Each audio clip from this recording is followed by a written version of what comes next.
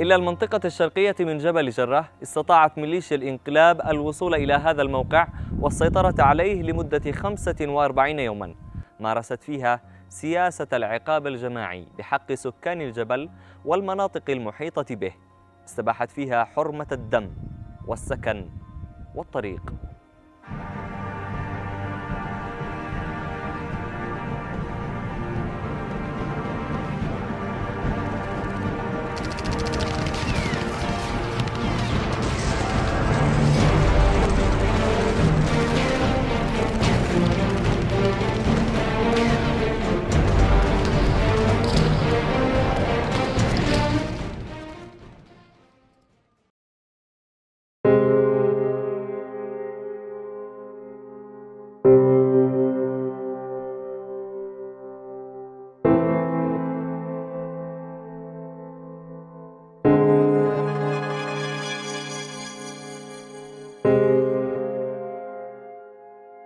شكل جبل جرة النواة الحقيقية للمقاومة الشعبية والجيش الوطني في تعز. وبدأت المعارك تتواتر بين كر وفر. خسرت الميليشيا الانقلابية على إثرها العديد من المواقع الاستراتيجية في المدينة إلا أن هاجس السيطرة على جبل جرة ظل يراودها واستمرت بهجماتها عليه بصورة متلاحقة. سواء من خلال الهجوم المباشر أو عمليات القصف المتواصل قبل قرد دافع عنه إيش؟ الجميع، كم من أراد أن يدافع عن اليمن بشكل عام فليطلع إيش؟ قبل قره لأنه قبل قره ممثل أعتقد إنه المقاومة بشكل عام، الجيش الوطني بشكل عام، الجمهورية بشكل إيش؟ بشكل عام في حال سقوط قبل قره انتهت إيش؟ محاولة تعز لأنها كانت بداية لنواة المقاومة من من من هنا من قبل قرة.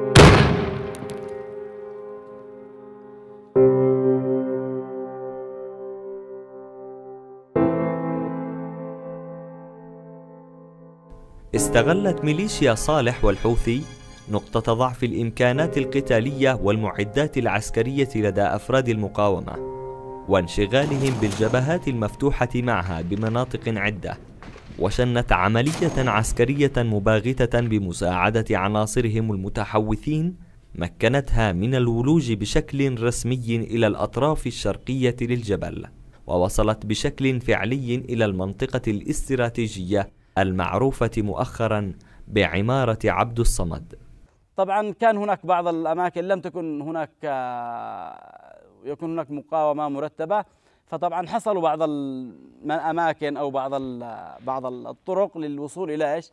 إلى أسفل إيش؟ أسفل جبل قرام مثل عمارة عبد الصمد وبيت أناس والمناطق هذه إيش؟ اللي هي ممكن أنهم إيش؟ يوصلوا آه إليها. أجاؤوا ثلاثة لدقوا بيتنا. ثلاثة أجاؤوا لدقوا بيتنا. إحنا حجرناهم قلنا لهم محجور لا تقصوا دقوا بيتنا. جزعوا لكم من دقوا بيتنا. وثلاث وأربعة قهم بعمارة. أربعة كانوا بعمارة. محناش دارين منو دخلهم. بعدين عادين نكون قصوا بكم بمزرعة جيت تبي رصاصة بالرجل حقي عادين ما أقدرش أجزع وأني لقيت عمر الغنم دخلوا قالوا لنا حق من ذا عمارة. قلنا لهم هذا حق عبد الصمد. قالوا هذا حقنا. هذا حقنا مش حق عبد الصمد.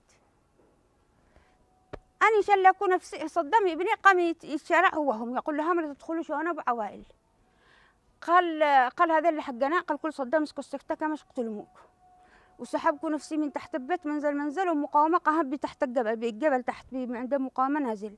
سحبكوا نفسي دلا دلا دلا لحوش حق محمد أحمد. وسحدتكم منزل منزل وليكوا مسموه بلغكوهم.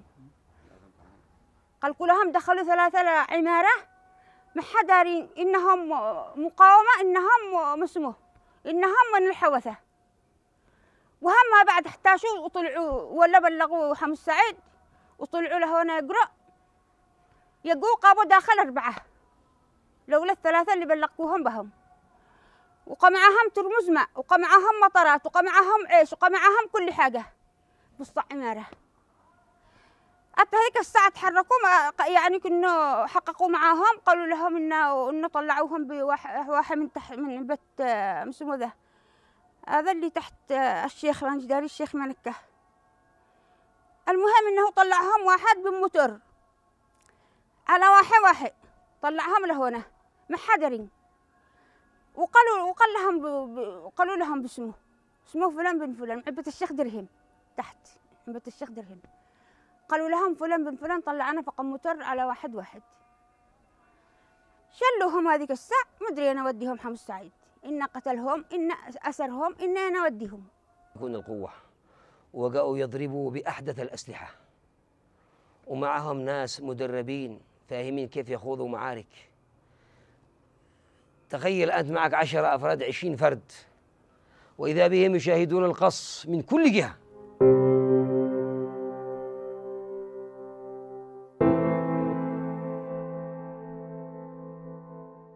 بالرغم من تدارك الموقف من قبل أفراد المقاومة والجيش الوطني إلا أن محاولة أخرى أعقبتها ليتمكن خلالها عناصر الميليشيا من التسلل مجددا. والسيطرة على عمارة عبد الصمد والمباني المجاورة لها. وكل هدفهم الزحف نحو مبنى المجمع القضائي الذي يبعد عنهم ببضع كيلومترات. طبعا كان خطتهم الاستراتيجية هو طبعا إرهاب الناس تخويف الناس على أساس إنهم حتى إنهم تسهل لهم الصعود إلى جبل قره هم طبعا يعني استخدموا بعض القناصين في العمائر المطلة مثل عبد الصمد بيت أنس النهري وفي بعض العمائر اللي هي طبعا مجاوره للجبل. طبعا على أساس إخلاء المنطقة ويخلوا لهم إيش حتى إنهم يصعدوا إلى إيش؟ إلى الجبل. هذه الأسلحة التي استخدموها ولكن كان هناك لهم طبعا قذائف الهوزرات الهونات الدبابة يضرب من الخلف الواعش وكذلك من الدفاع. هي طبعا لإرهاب الناس فقط يعني هم يعني راحوا ضحايا أبرياء في بيوتهم كانوا آمنين وأستخدموا هذه الأسلحة على أساس إيش؟ إرهاب الناس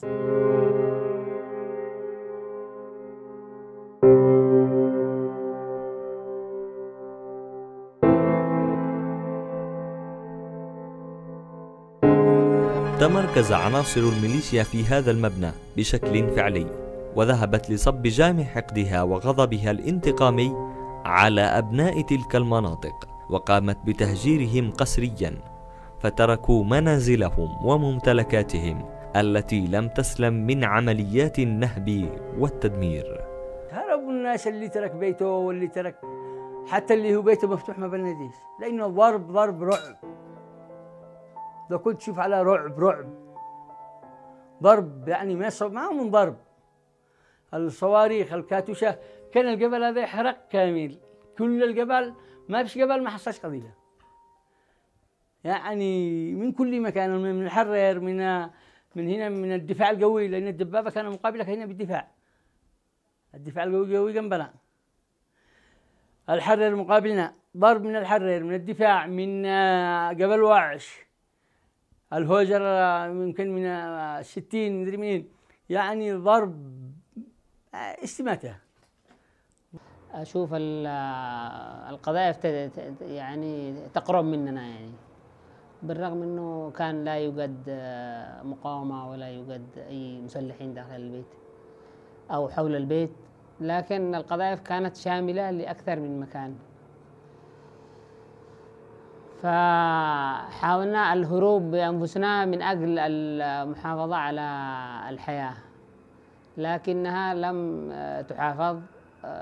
هذه البيت الذي أمامكم هذا الأطلال هذا هذا الواقع المزعج المخزي يعني أربعين سنة كنا ننتظر تطور للبلاد وحضارة ورقي لكننا فوجئنا بأنه أربعين سنة من من الدمار والخراب وتجميع الأسلحة لضربنا لضرب المواطن يعني.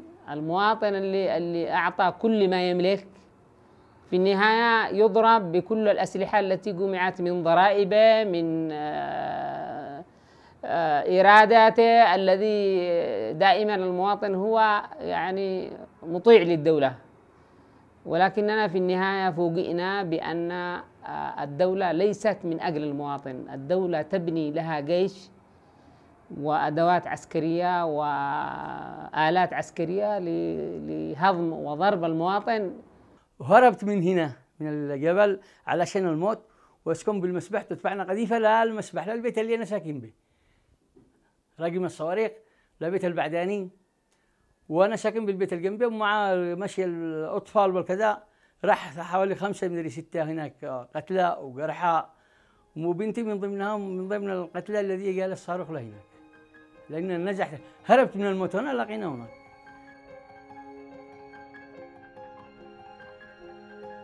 أنا كنت خارج البيت فأبلغوني إنه البيت تحترق كان ابني في الغرفة الثانية ونزلوا لا تحت اختبأوا وأصيب طبعا بمشاكل في الأذن نتيجة لقوة الضربة القوية يعني. أبلغونا أتينا لنعمل على إخماد الحريق الموجود بالغرف المجاورة. طبعا الغرف المجاورة كلها احترقت. فحاولنا نحصل على بابور ماء البوابير تخاف إنها تطلع على المنطقة هذه بحكم إنه ضربات أو كذا وبعدين فأتينا نحاول نطفئ الحريق وكان موقف مزعج يعني مزعج جدا. فهذا اللي حاصل يعني يعني أمور ليست بالهينة إنه الواحد يشوف عمره كله اللي اللي تعب فيه واشتغل وذكريات البيت كلها انتهت يعني أطلال. فإيش الواحد يقول؟ حسبي الله ونعم الوكيل. وهؤلاء آه، لا يعول عليهم. شهداء سقطوا. بيوت دمرت. شباب لا يمتلكون السلاح انسحبوا. وشاء الله عز وجل أن الحوث لا يتقدموا من هذه المنطقة لم يتقدموا من هذه البيت. وقفوا في هذه البيت تجمع الرجال. من أصحاب الحارة من أصحاب المدينة كثير من الجنود تجمعوا في هذه المناطق وتحصنوا وطردوا الحوث من هذه المنطقة. يعني آخر بيت وصل الحوث إليه هذه المنطقة هذه البيت. وتسمى ببيت عبد الصمد. تبت عبد الصمد.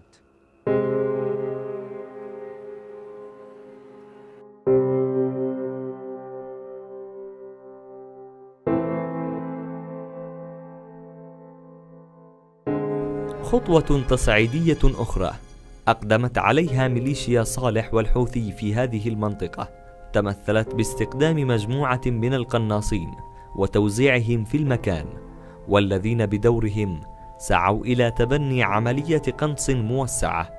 طالت الطرقات والشوارع والأحياء المجاورة للمكان وبأسلوب جعل تلك العناصر تبدو متجردة من القيم والأخلاق الإنسانية. القناص اللي كان هنا عمل جميع المآسي حتى من صاحب الوقت قنصه الحريم الذي يمشوا هنا كانوا هاربين من الموت قنصهم من هنا كان في ستة قناصة قناص هنا قناص بركن دكان تحت وقناص فوق بالدور الثالث وقناص بالدور الثاني الذي متجه على محطة الوادعي والشارع الرسمي. وقنص بكرضه كذا لقيت المقوات. كان من ماشي بجهة المقوات اللي تحت يقنص الشارع. فهذا القناص الذي قتل كم من واحد؟ 35 واحد اللي بالاسم ما اذكرش اسمائهم الذي قنصهم هنا قدامنا إلى الشارع الرسمي الذي يطلع إلى الجبل.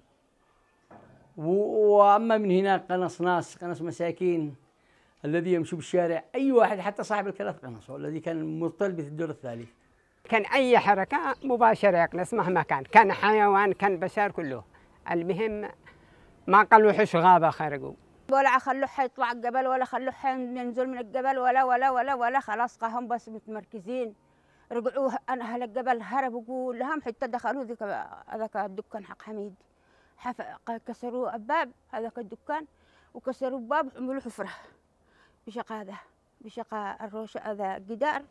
جينا بالهونة جينا بحارة على لقناصة كانوا يقنصوا من هناك ويقنصوا من هنا يقنصوا من هناك ويقنصوا من هنا من نقد قلبه ومن نقد قلبه ومن المقاومة ومن أهل الحارة وحتى الكلاب حتى الكلاب قتلوهم.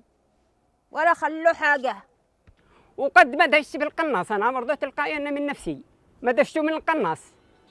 يوم ضربوا هناك بالطيران طلعت في حجرة قدام الرأس حقي. بدي عملت صدق ان الحجر اكتسر اكتسرت قدام الراس حقي سقطت وأنا وهي قدام الراس حقي. لكن بالنسبة لعمر لما يكون واحد العمر حقه طويل ما قال ما سببنا كل شيء بإرادة.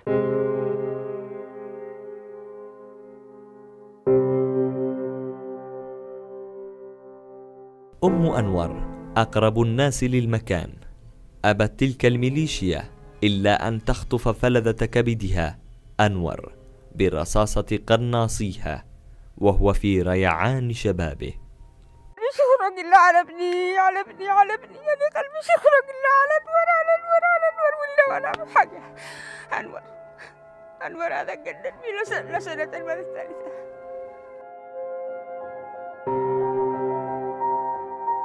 أنا أرجع كور من الحوبان لما قنص أنور.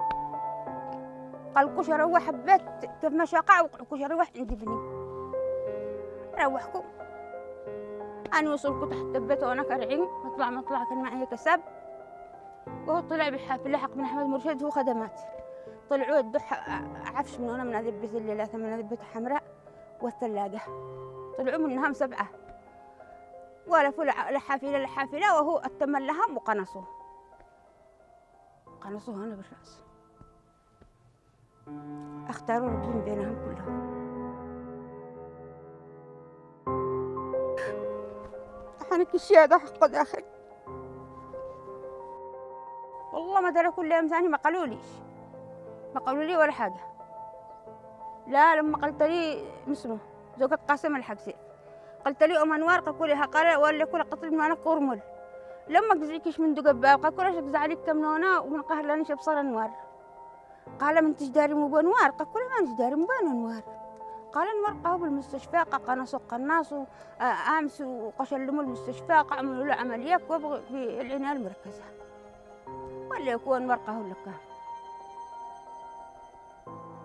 نظروا لقاه وليتمل الربين وهذاك أسكوقين على رقفه والعناية المركزة بشقه.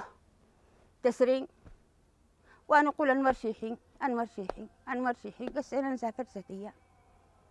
لا سبع يوم لما قنص يلا توكل على الله ومات بعض الأسر التي مكثت في البيوت هنا معنا امرأة ماتت قصفت يعني ضربت طلقة في صدرها وظلت تنزف إلى المغرب. ثمان ساعات. أم محمد العميسي هذه المرة المرأة كانت تنادي تصرخ تصرخ. أراد أبناؤها أن يقربوا منها من أجل أن يسعفوها. منعهم الحوثة وظلت هناك حتى ماتت. وغيرها من القصص إيش؟ الكثيرة. أطفال ظلوا في بيوتهم حتى ماتوا.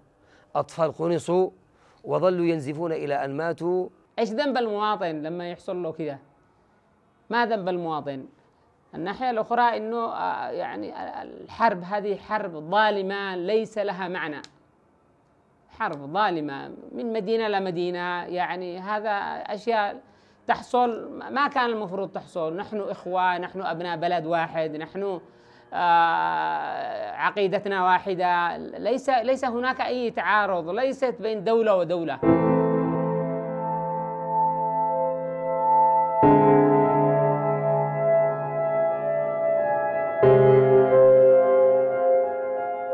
إن تنفس الجميع السعداء بزوال ذلك الكابوس الميليشياوي الرابض على قلوبهم واندحر ما تبقى من تلك العناصر لمواقعهم العسكرية عادت وتيرة القصف بشكل جنوني على الجبل. وحتى الآن ثلاث سنوات يعني مزيدا من الدمار مزيدا من الخراب مزيدا وكل يوم يقع ضرب سواء للحوش أو للجوانب أو يكملوا على الباقي. فوق الدور الثالث تحت الإنشاء قد كان يعني كل فترة أجي وقد راح جزء منه كل فترة يتنصبوا عليه. فالوضع الوضع المأساوي يعني يعني تعز تقريبا الناس فقدوا بيوتهم فقدوا أعمالهم فقدوا فقد كل شيء فقد الإنسان يعني. لو تأتي تشوف آه، المكسرين والمصابين بالحروب اسمه أطفال وكبار وأطفال ونساء يعني حالة ما حالة مزعجة. ولهذا في استحقاقات بعد الحرب تكون استحقاقات كبيرة يعني على أي حكومة أو أي فئة تمسك. يجب أن تنظر لهؤلاء الناس اللي حاصل. لأنه الآن آه، حقيقة أنه يمكن الناس يشتوا مستشفى أمراض نفسية في كل شارع.